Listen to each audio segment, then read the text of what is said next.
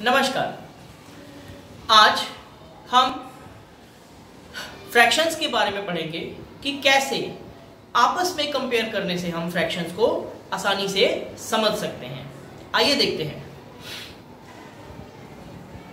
जैसा कि इस छोटे से चार्ट में आप देख सकते हैं, हमने एक यूनिट लेंथ ली। इसी यूनिट लेंथ को पहले दो बराबर भागों में बांटकर उन्हें एक बटा दो, एक बटा दो दर्शाया है। उसके बाद इसी यूनिट लेंथ को तीन बराबर भागों में बांटकर एक बटा तीन, दूसरे भाग को भी एक बटा तीन, तीसरे भाग को भी एक बटा तीन हमने इस प्रकार से दर्शाया है। उसके बाद इसी यूनिट लेंथ को हमने चार बराबर भागों में बांट के दर्शाया है।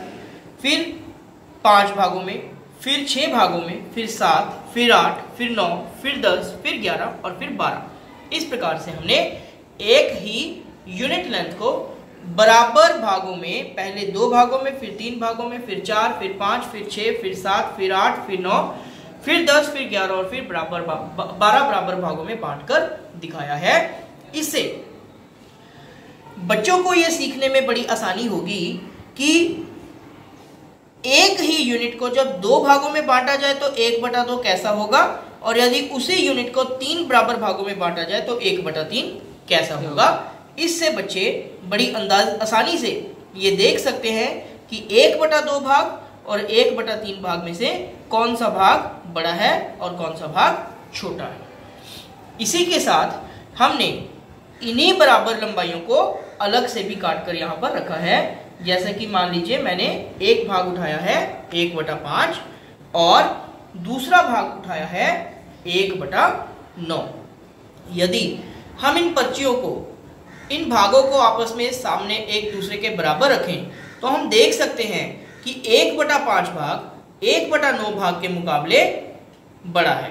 तो इससे जो बच्चों में कंफ्यूजन रहती है कि एक बटा नौ बड़ा होगा क्योंकि उसमें नौ संख्या है, यह गलत धारणा ठीक हो जाती है। बच्चे इन्हें देखकर यह पता लगा सकते हैं कि एक बटा पाँच भाग जो है, वह एक बटा नौ भाग से बड़ा है। इसी प्रकार से यदि एक बटा नौ और एक बटा बारह, इन दो यूनिट्स को भी हम आपस में देखें तो आप बड़े आराम से देख सकते हैं कि एक बटा नौ भाग जो है, वो एक बटा बारह भाग से काफ़ी बड़ा है।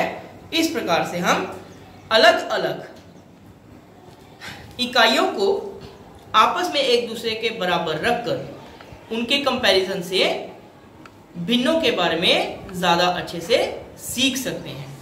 और जब हम इस प्रकार से एक बटा छः और एक बटा सात की बात करें, चाहे इनमें थोड़ा सा ही डिफरेंस है, लेकिन हम बड़े ध्यान से अगर देखेंगे तो हमें ये दिखाई देगा कि जो एक बटा छः भाग है, वो एक बटा सात से बड़ा है। इस तरह से हम फ्रैक्शंस को कंपैरिजन की मदद से बड़े आराम से, बड़ी आसानी से, सरलता से सीख सकते हैं।